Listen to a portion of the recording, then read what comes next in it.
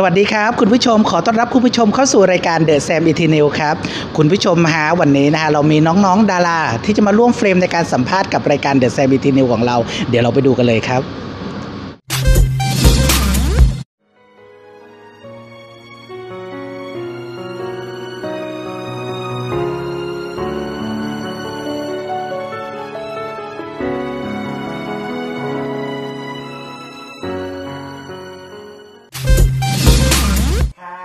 มนะต้องบอกว่าวันนี้นะฮะมาได้รับเกียรตินะฮะจากน้องภูมิอีกรอบหนึ่งน้องภูมิสวัสดีค่ะสวัสดีครับ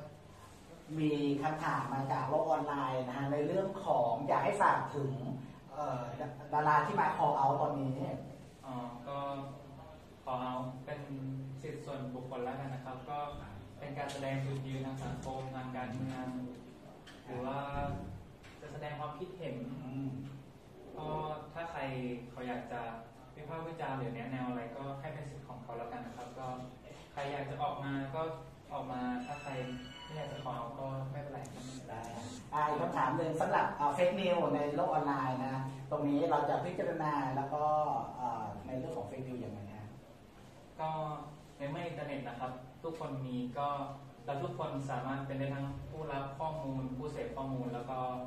อาจจะเป็นผู้ที่ทำข่าวที่เฟกขึ้นมาอืมซึ่ง อันนี้ไม่ควรนะครับ ก็มันเป็นการจู่โจมฝ่ายตรงข้ามให้คนหลายๆคน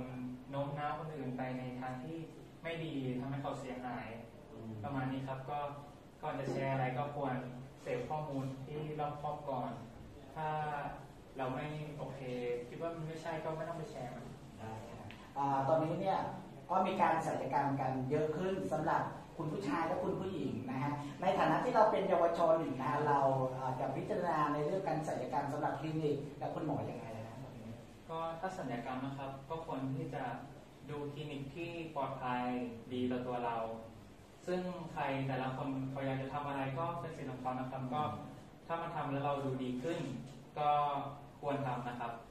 ครับผมได้นะก็อีกประเด็นหนึ่งนะฮะสำหรับ ในเรื่องของตอนนี้สถานการณ์โควิดก็มีการระบาดค่อนข้างจะรุนแรงนะฮะอยากให้น้องปูมเนี่ยในฐานะที่เป็นเยาวชนนะฮะแล้วก็เป็นนักแสดงนำในเรื่องของ The Prince The Series ฝากถึงคุณหมอนะฮะตรงนี้อืมก็ขอให้สู้ๆนะครับ คุณหมอทุกคน